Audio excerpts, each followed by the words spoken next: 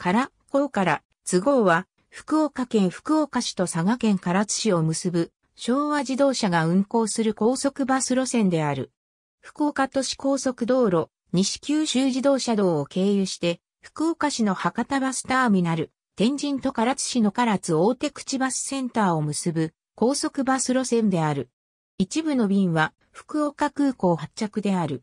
2004年から2011年3月までは、唐港の他にも、唐津より先の呼子まで行く、呼子号が設定されていた。福岡市の中心部である天神と唐津市の中心部である大手口の間は、日中で64分から72分、早朝、深夜は60分から67分程度の所要時間である。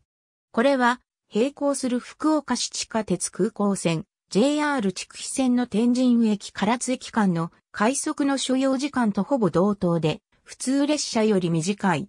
運賃は、福岡空港唐津大手口線230円、博多バスターミナル、天神唐津大手口間1030円である。福岡市地下鉄、筑肥線の運賃は、福岡空港唐津1170円、博多、天神唐津間1140円であり、博多、天神唐津間においては、福岡市地下鉄、筑肥線より安くなっている。往復割引券に加えて4枚綴り、16枚、綴りの回数券もある。基本的に宝あたり桟橋、博多バスターミナル間の運行で、便によって途中停車地が変わることはないが、一部の便では、博多駅から先の福岡空港まで行く。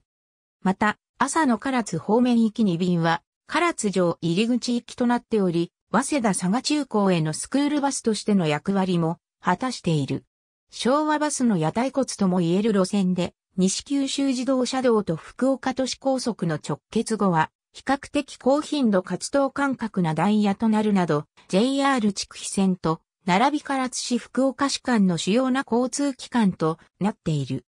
現行、唐津行きは乗車のみ、福岡行きは降車のみ、唐津行きは降車のみ、福岡駅は乗車のみ、非経由朝の唐津方面の始発2便のみ、唐津城入り口が終点となる。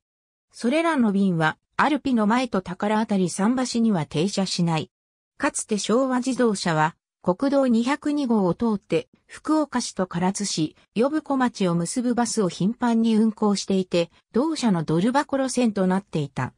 しかし1983年に並行する国鉄地区費線が電化されて、福岡市地下鉄への乗り入れが開始され、唐津側でも路線切り替えによって唐津駅に直通するようになり、筑肥線の利便性が大幅に向上したために、バス利用者は急速に減少した。高速バスとしては1993年に昭和自動車と西日本鉄道との共同運行で運行開始された。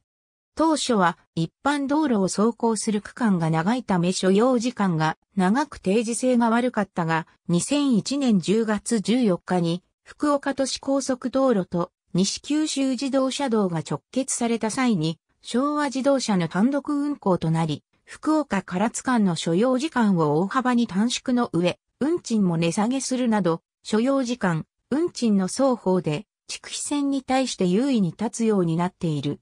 また、居住性の面でも地区非線はすべてロングシートの通勤用車両のため、バスの方が優位に立っている。ありがとうございます。